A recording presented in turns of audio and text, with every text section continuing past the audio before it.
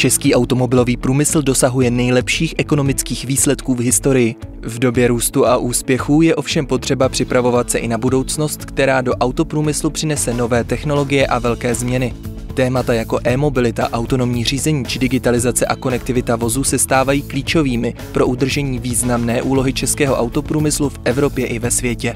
V celé Evropské unii eh, investují automobilky až na 50 miliard eh, euro ročně do výzkumu a vývoje. V České republice se daří trvale zvyšovat počet lidí, kteří právě v oblasti výzkumu a vývoje pracují, takže ten význam je velký a stoupá.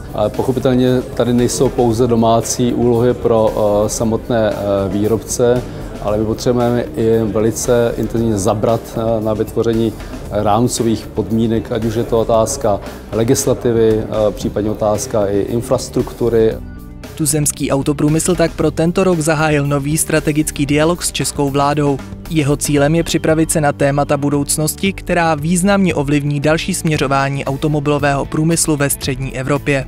Na září bude plánováno schválení vládní memoranda a akčního plánu o budoucnosti našeho průmyslu. My nemůžeme připustit a dopustit to, že eh, se tato práce a tyto závazky přenesou někam na další vlády. Ta práce se musí udělat teď, eh, proto je třeba spojit síly, proto máme autozdružení a proto potřebujeme i vás, eh, abyste nám pomohli k tomu získat podporu, abychom eh, to tempo autoprůmyslu dokázali udržet.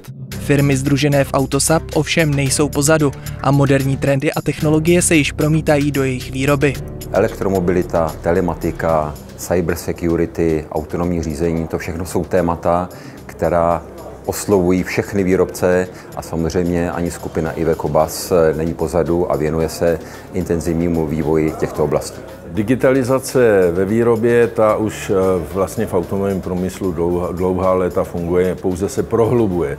EDI komunikace od zákazníka je standardní, EDI komunikace k dodavatelům je standardní. Dneska se prošpikovává ta EDI komunikace směrem do výroby, to znamená používání eh, RFID kódu, lidé se přihlašují, automaticky se odhlašují výrobní příkazy se samotných linek. Nás jednoznačně týká e-mobilita a digitalizace. Z pohledu e-mobility máme již kontrakty na dodání ložisek do elektromotoru, například do Jaguaru. Co se týká digitalizace, tak jednoznačně zaměření na automatizaci, výrobu, robotizaci. Tento pozitivní trend nám napomáhá překlenout tady problémy s eh, nabídkou, poptávkou na trhu práce a tím pádem eh, ta digitalizace je příležitost pro každého z nás se s tím popasovat. Za pozitivní výsledky naší firmy stojí rozhodně její dlouholetá historie, i to, že dneska celá firma se inovuje a nějakým způsobem se blíží průmyslu 4.0.